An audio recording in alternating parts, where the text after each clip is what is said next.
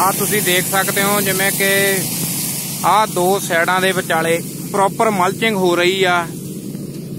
ਆ ਦੇਖ ਲਓ, ਆ ਦੋ ਸਾਈਡ ਨੇ। ਇਹਨਾਂ ਦੇ ਵਿਚਾਲੇ ਪ੍ਰੋਪਰ ਆ ਮਲਚਿੰਗ ਕਰ ਰਹੀ ਆ। ਇਹੀ ਪ੍ਰੈਸ ਵੀਲ ਦਾ ਇਹਦਾ ਫਾਇਦਾ ਵਾ। ਇਹਦੇ ਨਾਲ ਗਾਂ ਆਪਣੇ ਜਿਹੜਾ ਸਾਈਡਾਂ ਦੇ ਵਿਚਾਲੇ ਨਦੀਨ ਹਰਾ ਹੋਣਾ। ਉਹਦੇ ਚ ਮਲਚਿੰਗ ਕੀ ਕਰਦੀ ਆ? ਨਦੀਨ ਨਹੀਂ ਹਰਾ ਹੋਣ ਦਊਗੀ। ਸਾਈਡਾਂ 'ਚੋਂ ਦੇਖੋ ਜਿਵੇਂ ਆ ਸਾਈਡ ਆ। ਕਿੰਨਾ ਡੂੰਗਾ ਆ ਰਿਓ ਤੇ ਤੁਹਾਡਾ ਬੀ ਸ਼ਾਇਦ ਵਿੱਚ ਦਿਖਾਈ ਦੇ ਰਿਹਾ ਮੈਨੂੰ ਤਾਂ। ਇਹ ਨਾਲ ਇਹ ਜਰਮੀਨੇਟ ਹੋ ਜਾਣਾ ਪ੍ਰੋਪਰ ਆ ਜਿਹੜੇ ਮਲਚਿੰਗ ਵਾਲੀ ਜਗ੍ਹਾ ਦੋ ਸਾਈਡਾਂ ਦੇ ਵਿਚਾਲੇ ਆਹਾ। ਇਹਦੇ 'ਚ ਇਹਨੇ ਨਦੀਨ ਨਹੀਂ ਹਰਾ ਹੋਣ ਦੇਣਾ ਪਰਾਲੀ ਨੇ। ਇਹਦੇ 'ਚ 30 ਕਿਲੋ ਯੂਰੀਏ ਦਾ ਮੂਰੇ ਛੱਟਾ ਦਵਾਇਆ ਗਿਆ ਵਾ। ਜਿਹਦੇ ਨਾਲ ਉਹਦਾ ਪਰਾਲੀ ਨੂੰ ਜਿਹੜੇ ਮਾਈਕਰੋਬਸ ਹੁੰਦੇ ਆ ਪਰਾਲੀ ਦੇ, ਉਹ ਹੈਲਪ ਕਰਦੇ ਆ।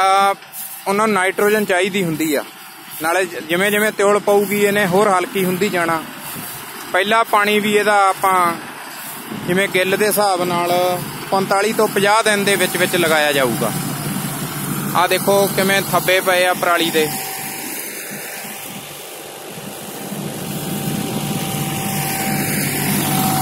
ਇਹ ਮਸ਼ੀਨ ਤੁਸੀਂ ਸਿੱਧੇ ਖੜੇ ਕਰਚਿਆਂ 'ਚ ਵੀ ਚਲਾ ਸਕਦੇ ਹੋ।